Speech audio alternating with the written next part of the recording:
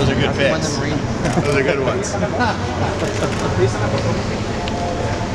Hey, Miz, how about you and Cody Rhodes? Anything gonna go down? Well, fatal four way at the uh, at Night of Champions, so we'll see what happens. That's my favorite. Dark photo on the yellow skirt. Sure, guys. Do you still have the bounty on the dreadlocks Still what? for TMZ guy? You still got the bounty going with it? Nah, the bounty's the bounty's off. Took off. I was gonna earn rent money.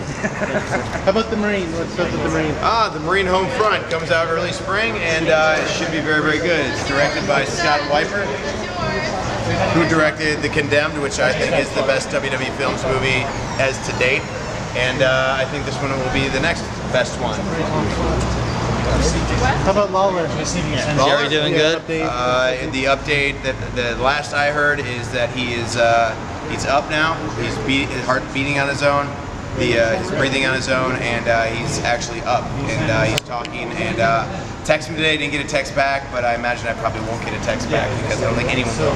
Uh, he's still in recovery, and uh, we all wish him well. I mean, all our prayers go out to him. Yeah. Thank you. Sure, man.